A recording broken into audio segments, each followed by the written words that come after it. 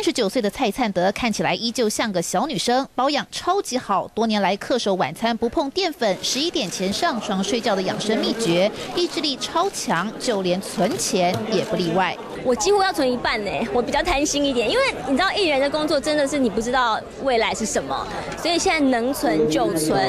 那我大部分的钱都是花在那个猫咪跟妈妈的身上，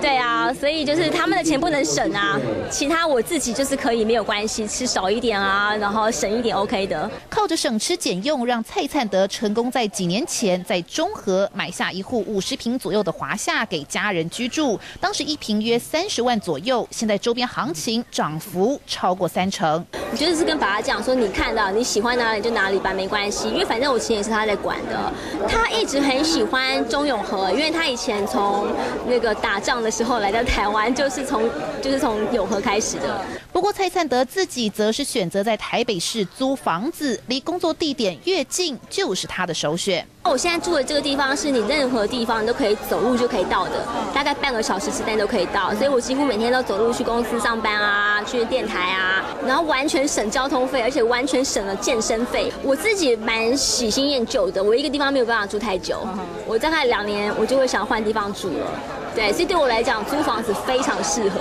蔡灿德也透露，如果还有能力在台北市买房，最想住在民生社区。虽然附近已经是天价行情，但以阿德这么省吃俭用的生活方式，愿望终究会实现。三立选林松必定下头报道。